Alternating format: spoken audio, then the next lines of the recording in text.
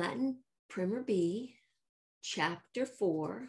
We're going to go keep moving and um, we're going to take a look at the vocabulary, which is, um, well, the chant here, the irregular verb up here, sum, esse, fui, futurum. Sum means I am, esse is to be, fui is I was, and futurum is I am about to be. Okay, I am to be, I was, I am about to be. And here they are. Okay, sum es est, sumus est sunt. I am, you are, he, she, it is. We are, you all are, they are. Eram, meras, erat. Eramus, erat, erant.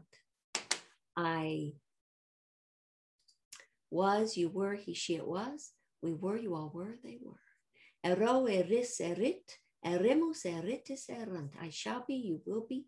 He, she, it will be. We shall be, you all will be, they will be. These verbs we use typically with pattern four in Shurley grammar. It's the linking verb. So what's on this side equals this side, and that they match in gender and number and case.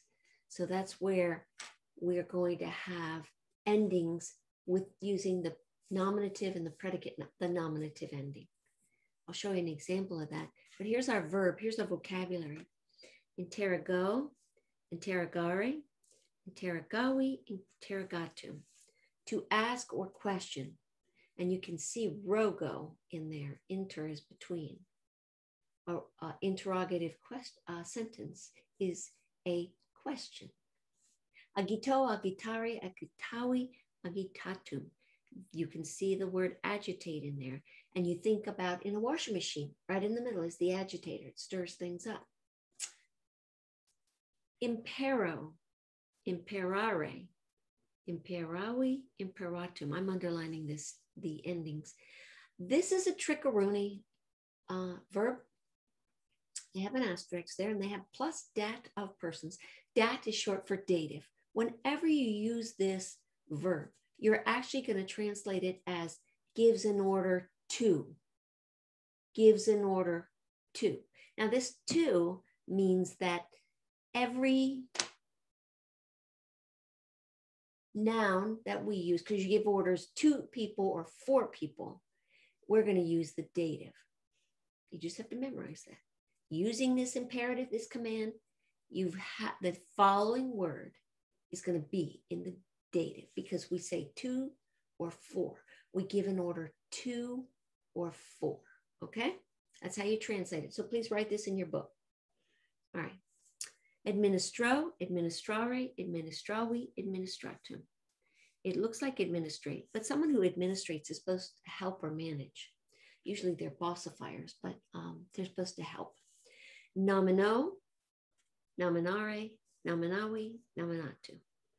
To, it looks like name. Doesn't it look like name? To name, to mention, to call by name. All right. God in the Bible calls people by name. Yes, amen. All right, now we've got some second declension neuter nouns here. So with that, I'm going to take my second declension and I'm going to use the blue and then I'm going to take my yellow because that's what distinguishes it an, as a second neuter. Um, and we've got eudicum, eudiki, trial, legal. And that's going to be, it looks like in the uh, ecclesiastical spelling, it looks like justice or judge looks like judge.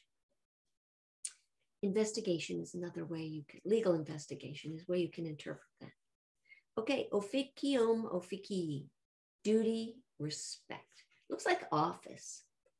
Okay, so you respect the office of the president. Studium studi, zeal study. Okay, that's a neuter. Winum wini, wine, neuter.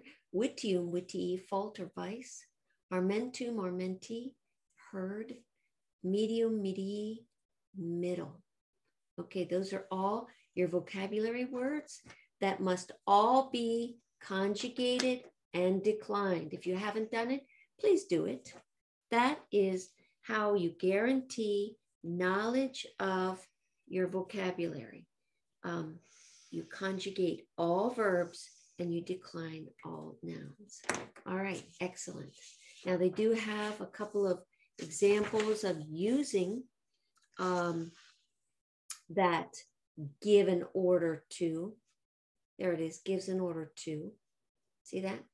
That's the way you translate that imperat. Gives an order to. And you're going to use that following noun in the dative. That's what that means.